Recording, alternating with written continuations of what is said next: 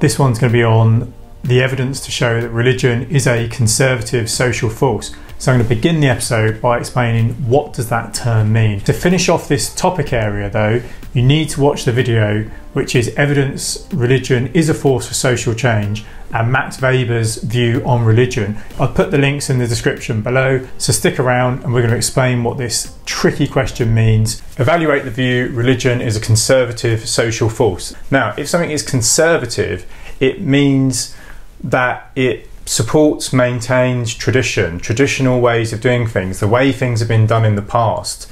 So that might be traditional ideas, beliefs, roles, institutions, etc. A lot of sociologists argue religion is a conservative force. It maintains things as they have always been done in a traditional way. So it keeps society from progressing and moving forward.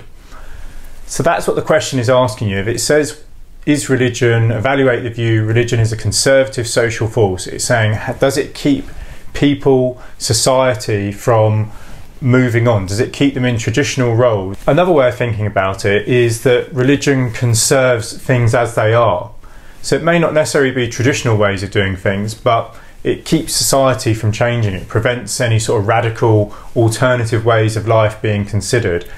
So that's what we mean. If we're talking about evaluating the view religion is a conservative social force, we're saying does it keep society the way it has been, you know, following traditional roles, ideas, etc., and does it prevent social change? Now, I've already covered three videos on a Marxist, feminist, and functionist view of religion. So you need to go back and look at those. But all three of those theories argue that religion is a conservative social force. The first theory we're going to think about is functionists. Functionists argue religion is a conservative social force because religion maintains order and stability. It prevents change in society. And it does this by blocking individuals from being, blocking people from being too individualistic, too selfish. It promotes social solidarity, that shared sense of identity, and it also promotes a shared moral conscience, a shared ideas about what's right and wrong. By preventing people from being too individualistic and selfish, it prevents social change. People do things as they have always been done, they do things in a traditional way.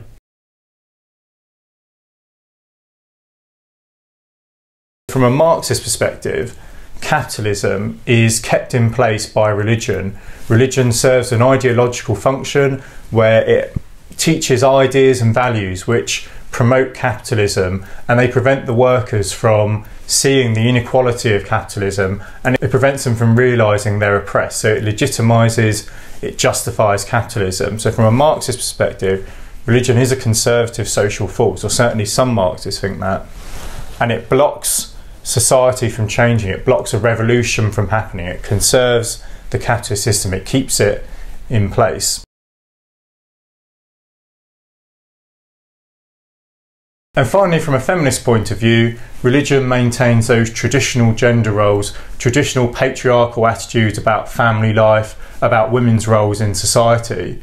So, again, go back to the video on feminism, but some brief examples will be women's roles are often the mother role, Mary, mother of Mary, mother of God, Mary, mother of Jesus. The roles women fulfill are traditional gender roles, and what that does is reinforce women's traditional gender roles in society. So, it prevents social change again. Okay, what are some of the examples you could use to highlight your points and some evidence? So, one recent example from the UK in 2014, the government legalised same sex marriages.